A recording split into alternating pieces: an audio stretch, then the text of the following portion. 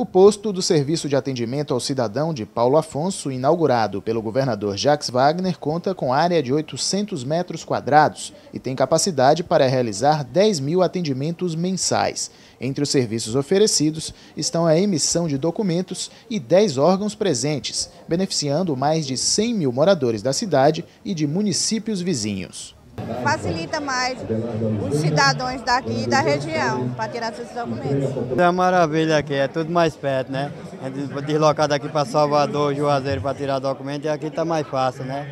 É pertinho de casa, né? Ainda em Paulo Afonso, o governador autorizou obras de pavimentação e entregou a ampliação do sistema de esgotamento sanitário do município. A cobertura aumentou de 4,5% para 33%. Queria dizer da minha alegria de estar aqui em Paulo Afonso, entregando obras tão importantes como é, é o saneamento básico. Subimos de 5% para 33% a população atendida e eu já vou mandar fazer o projeto de tal forma que a gente ultrapasse os 80%. Além disso, estamos entregando também esse saque aqui, que é um saque para Paulo Afonso, para a região. Eu diria assim, coisa de primeiro mundo, como o pessoal gosta de dizer.